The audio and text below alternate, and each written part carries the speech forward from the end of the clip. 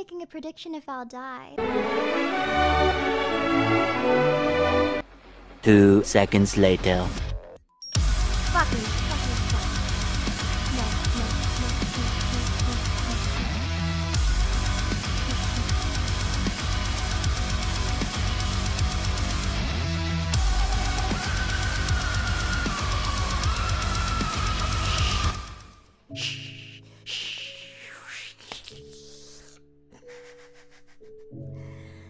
well, um.